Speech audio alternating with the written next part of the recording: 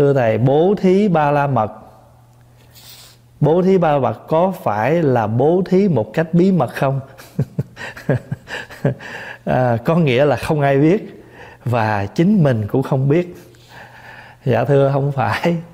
Nếu mà mình bố thí không ai biết mình không biết vậy là mình làm gì? Mình bố thí mình không biết mình đang làm gì đâu có được.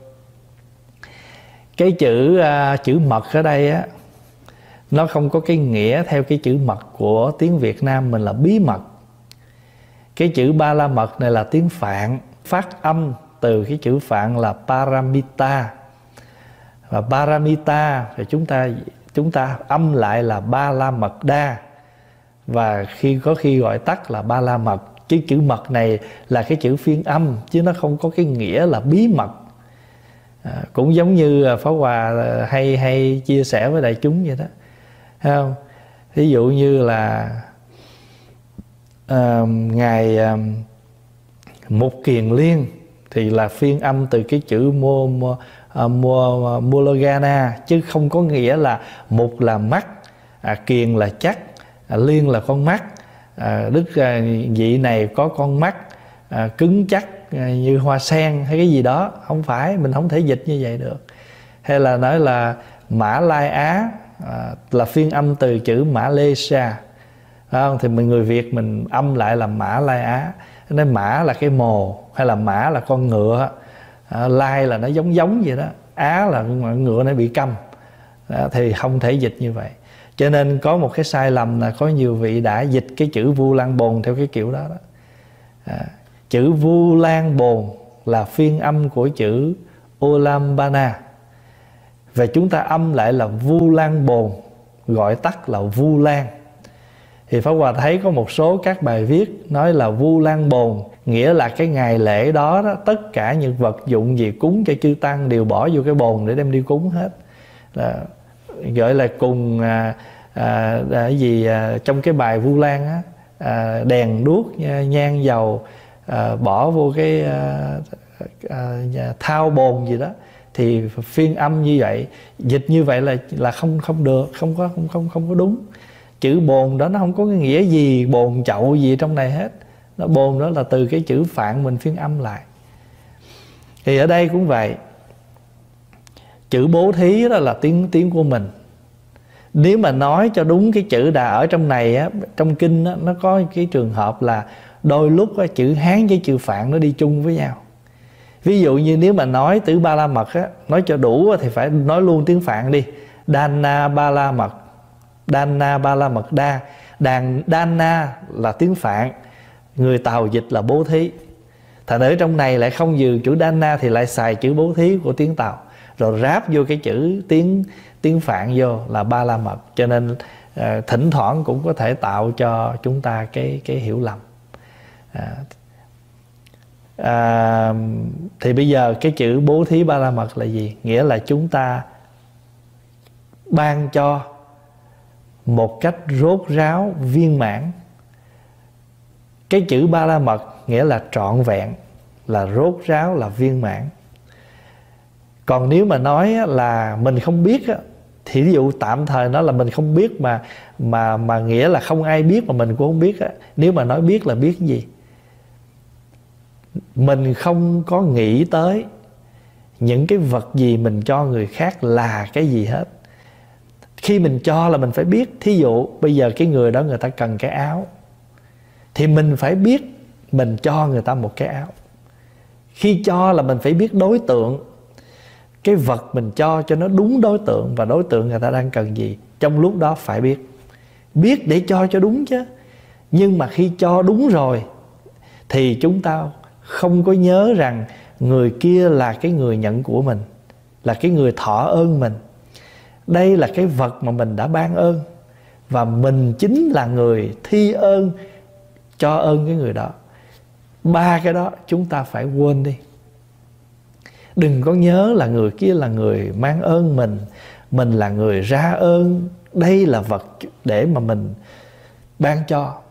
Thì như vậy đó, thì mới gọi là ba la mật còn khi chúng ta cho mà chúng ta không biết cho gì hết thì không đúng. Ví dụ như người ta tới người ta nói à, cần tiền mình liền đưa tiền mà không biết ta lấy tiền để làm gì. Như vậy cái đó là mình không có chánh niệm trong khi mình cho. Cho nên trong khi cho cũng phải có chánh niệm là người đó cần tiền để làm gì. Và thậm chí ví dụ như mình cho cái người đó nó đúng mức thì mình giúp họ đúng mà mình cho không đúng thì trong kinh Phật nói nó có rơi vào cái trường hợp là gì?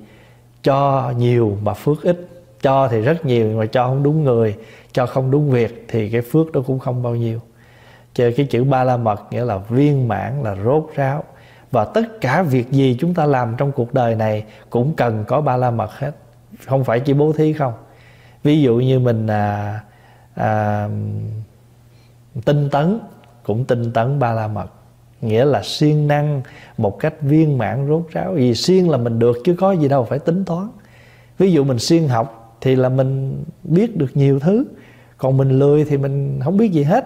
Thì mình đã siêng năng trong sự tu tập thì là cho bản thân mình chứ cho ai đâu mà phải gọi là ngồi đó à, tính đếm đông đo. Cho nên tất cả việc làm gì chúng ta nếu chúng ta làm một cách trọn vẹn tới cái chỗ cùng tột thì đều gọi là ba la mật hết ví dụ mình siêng năng mà nửa chừng không có viên mãn thì cũng chưa gọi là ba la mật mình nhẫn nhục mà chưa đến cái chỗ rốt ráo viên mãn để mình với người đó chấm dứt mọi một cái oan kết đi thì cũng chưa gọi là nhẫn nhục ba la mật thiền định mà chúng ta uh, chập chờn chập chờn đến khi nào mình bất cứ giây phút nào mình cũng ở trong chánh niệm thì cái đó gọi là thiền ba la mật cho nên chữ ba la mật là một cái chữ à, một cái danh từ phật học rất là à, thiêng liêng và có thể nói rằng người học phật mà học phật sâu sắc hay là hiểu biết về nhiều giáo lý thì đều biết cái chữ ba la mật là gì hết. Vì vậy mà các ngài thường không dịch cái chữ này. Để yên đó. Vì sao? Vì nó là nằm ở trong cái trường hợp gọi là thiên liêng thì không thể dịch tại vì sao? Vì chữ ba la mật này nó có tính cách thiên liêng và nhiều nghĩa. Cho nên ngài huyền trang có đề nghị là không có những chữ trong phật học chúng ta đừng dịch để yên đó để nó mang cái tính chất thiên liêng. Ví dụ như chữ à, tỳ kheo. Ừ, tỳ kheo. À, chữ tỳ kheo hay là bhikkhu à, phiên âm từ cái chữ bhikkhu hay là biso và chúng ta phiên âm là tỷ kheo tỳ kheo tỳ khu tỷ khiêu tất cả những cái chữ đó là chữ chữ phiên âm. Nhưng mà bản thân chữ tỳ kheo phải hàm đủ ba nghĩa. Đó là khất sĩ, là phá ác, là bố ma. Phải đủ ba cái yếu tố này mới là bản chất của tỳ kheo. Đó là tính chất của một vị tỳ kheo. Một vị tỳ kheo mà chỉ có cái nghĩa là khất sĩ là đi ăn xin không là không được. Vậy thì cái tính chất phá ác bố ma đâu? Cho nên tỳ kheo phải hàm đủ ba nghĩa. Vì đa nghĩa, cho nên không thể dịch để yên cái chữ tỳ kheo đó. Và khi nói lên là mọi người sẽ nhận ra được cái cái thiên liêng của cái cái cái cái vị tỳ kheo đó. Đó là một cái chữ ví dụ vậy thôi. Còn rất nhiều chữ nữa. Ví dụ chữ nam mô cũng không dịch. À, vì sao? Vì chữ nam mô bản thân không là sáu nghĩa rồi. À, mà trong đó là thí dụ như chữ nam mô là gì? Là cung kính là quy mạng là chí tâm là hết lòng là cứu ngã là độ ngã. Chữ nào mình thí dụ mình tạm dịch là à, cung kính hay là kính lại à, thì những mình mượn một nghĩa để mình nói lên chữ nam mô. Chứ còn nhưng mà hơn nữa trong phật tử có những người họ không là phật tử nhưng khi họ nghe chữ nam mô thôi là họ biết này từ phật giáo ra rồi.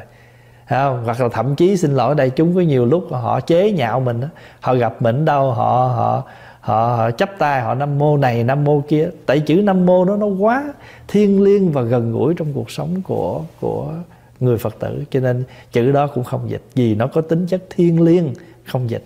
Vì có tính chất đa nghĩa cũng không dịch.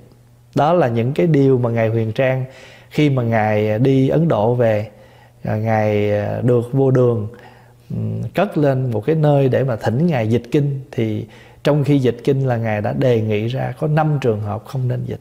Cái đó trong kinh thường gọi là ngũ chủng bất phiên. Năm điều không có nên à, không có nên dịch nhà yeah thì à, đó là cái cái cái cái chữ à, ba la mật ha. Chứ nó không có cái nghĩa là bí mật mình không biết hay là người không biết. Mình làm mà mình không biết thì mình làm gì? Phải không? Cho nên ở đây là làm viên mãn rốt ráo giúp cho họ đến cái chỗ thành tựu. À, ví dụ như mình nuôi con á à, nuôi con mà à, cho nó ăn học trọn vẹn hết cái thời gian mà à, nó đi học đó, cũng là một hình thức ba la mật đó. Nhưng mà rồi người mẹ nghĩ rằng con mình nó lớn lên cái mình hết trách nhiệm không? Không. Tự nhiên lớn lên nó có vợ có chồng có con có cháu cái tự mình thấy bổn phận tiếp.